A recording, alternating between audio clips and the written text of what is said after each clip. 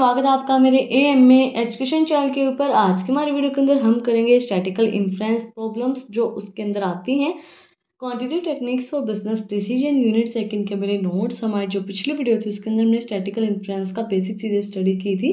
क्या उसकी प्रोसेस होती है, क्या उसकी डेफिनेशन होती है, क्या वो इम्पोर्टेंस इम्पोर्टेंट होती है तो वो सब चीज़ें हमने स्टडी की थी। अगर आपने वो वीडियो नहीं देखी है तो उसका लिंक डिस्क्रिप्शन में है। आप लोग जाके चेक कर सकते हैं। और अगर आप चैनल पे नए हैं तो सबसे पहले चैनल को जाके सब्सक्राइब करें, बेल आइकन प्रेस करें for new updates statical influence take care of the two classes of problems statical influence दो प्रॉब्लम्स को टेक केयर करते हैं। सबसे पहले हमारी hypothesis testing and estimation hypothesis testings एक ऐसा टेस्ट होता है जिसके अंदर हम प्रेजेंट पॉपुलेशन को देख के और सैंपल्स को देख के उसके अकॉर्डिंगली हम प्रेजेंट पॉपुलेशन को बताते हैं कि प्रेजेंट में ये होगी पिछले सैंपल्स को देख के। हम एग्जांपल लेते हैं, पिछले पाँच साल में लगा लेते हैं। पिछले पाँच साल में हमारी पॉपुलेशन रही है दो दो लाख। हम एक एग्जांपल लेते हैं नॉर्मली दो लाख दो लाख दो लाख हमारी है। किसी के अंदर दो लाख दस हज़ार है और किसी के अंदर दो लाख से दस हज़ार रुपये कम है, एक लाख नब्बे हज़ार है। तो ऐसी हमारी पॉपुलेशन रही है। तो हम नेक्स्ट ईयर क्या सोचेंगे? नेक्स्ट ईयर भी इतनी रहेगी, या तो दो लाख हो जाएगी, या दो लाख दस हज़ार रुपये सॉरी दो लाख दस हज़ार हो जाएगी, या एक एक नब्बे हो जाएगी। तो उसी टाइप से क्या बोलते हैं या जो टेस्ट होता है वो हमारा? It test some hypothesis about the present population based on the sample drawn from the population जो हमने सैंपल ड्रो किए हैं पिछले साल के जो सैंपल्स हमारे हैं, उसके अकॉर्डिंगली हम प्रेजेंट पॉपुलेशन का निकालते हैं प्रेजेंट पॉपुलेशन को देखते हैं। नेक्स्ट हमारा estimation use the statistics obtained from the sample as an estimate of unknown parameter of the population based on the sample drones from the population.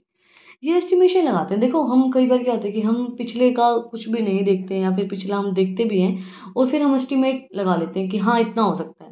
देखो, जैसे हम कोई भी फ़ंक्शन अरेंज करते हैं या फिर हम एक नॉर्मल सा एग्जांपल लेते हैं हमारे घर का।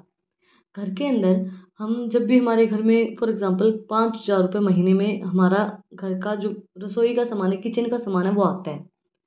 जो किचन का सामान है, वो पाँच हज़ार है। तो हमारा एस्टिमेशन क्या होगा कि भाई पाँच हज़ार रुपये हमारा रसोई का सामान का, किचन के सामान का, पाँच हज़ार रुपये लाइट बिल, वाटर बिल, वो चीज़ें हो गई और पाँच हज़ार रुपये हमारा रेंट हो गया और पाँच हज़ार रुपये हमारा मतलब और जो खर्चे हो गए तो बीस हज़ार रुपये हमें महीने में चाहिए।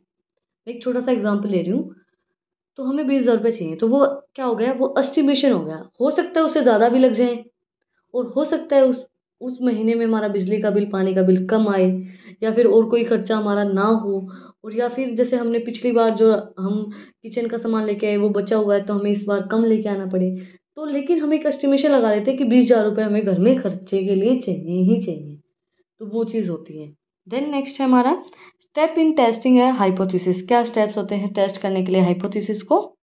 फॉर्मुलेट है हाइपोथेसिस सबसे पहले हम फॉर्मुलेट करेंगे एक hypothesis then decide an appropriate significant level एक अप्रोप्रिएट सिग्निफिकेंट लेवल को हम डिसाइड करेंगे सेलेक्ट करेंगे एक टेस्ट क्राइटेरिया जो भी हमारा क्राइटेरियन होगा, उसको हम सेट करेंगे सिलेक्ट करेंगे एंड कैरी आउट कैलकुलेशन फिर हम कैलकुलेशन करेंगे, फिर हम अपना डिसीज़न ले लेंगे। और ब्रीफ में स्टडी करते हैं formulate a hypothesis first of all hypothesis is a set of about a population parameter एक पॉपुलेशन पैरामीटर होता है, ये पॉपुलेशन को बताता है। Thereafter sample data is collected sample static collected and information is use assess how fair in the hypothesis parameter is correct. फिर जब हम कलेक्ट कर लेते हैं जो भी हमारा स्टैटिकल डाटा होता है देन वो देखते हैं कि जो हमारी हाइपोथेसिस है पैरामीटर वो करेक्ट है या नहीं है फॉर्मुलेट करेंगे उसको। And this hypothesis are the constructed in the such a way that is and one hypothesis is expected the other is rejected तो उसके अंदर जो हमने कंसल्ट की है, जो हमने करेक्ट चूज़ की है तो उसके अंदर जो करेक्ट लगेगी उसको हम एक्सेप्ट कर लेंगे। जो हमें अच्छी, सही नहीं लगेगी उसको हम रिजेक्ट कर देंगे। इसके अंदर हमारा नल हाइपोथेसिस टू कैटेगरीज हैं इसकी हाइपोथेसिस की two hypothesis are called null hypothesis and alternative hypothesis एक अल्टरनेटिव जो हम रखते हैं ना कि भाई ऐसा नहीं होता, ऐसा कर सकते हैं हाइपोथेसिस एंड एक नील हाइपोथेसिस इसको हम बोलेंगे designed at the H O and design at the H A point है, decide an appropriate significance level. The next step in testing hypothesis is to set the suitable significance level to the test validity.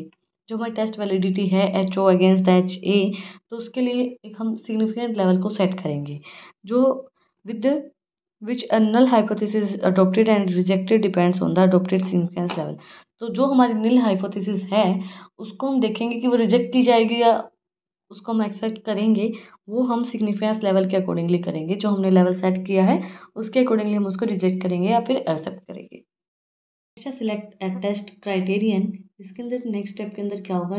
Criteria हम set करेंगे कि हमें कितना profitability distribution करना है, कितना हमें प्रॉफिट हुआ है एक पर्टिकुलर टेक्स्ट के अकॉर्डिंगली कॉमन हमारा पर्टिकुलर प्रॉफिटेबिलिटी जो भी है उसका हम डिस्ट्रीब्यूशन करेंगे. The next step in the hypothesis testing is to be set up a test criterion and appropriate profitability distribution that can be applied is selected from the particular test, some of the common profitability distributions are, जो हमारी common profitability distributions है, वो क्या है? Divide two and T and F हमारी common profitability distribution है कि हमें कितना प्रॉफिट डिस्ट्रीब्यूट करना है।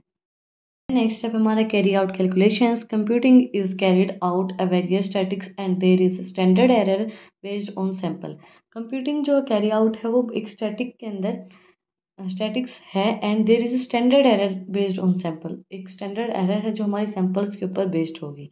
देन नेक्स्ट हमारा make decisions in this step statical conclusions and decisions are made to reject or accept the null hypothesis depending on the whether the computing valued falls in the rejections or expectations or rejected. जो हमारा statistical conclusion है, वो design decision है, उसका वो reject और accept के ऊपर बेस्ड होता है कि हम उसको रिजेक्ट करेंगे हम नील हाइपोथेसिस को लेके आएँगे, लेंगे, नहीं लेंगे, उसको रिजेक्ट करेंगे, वो डिपेंड होगा हमारा किसके ऊपर?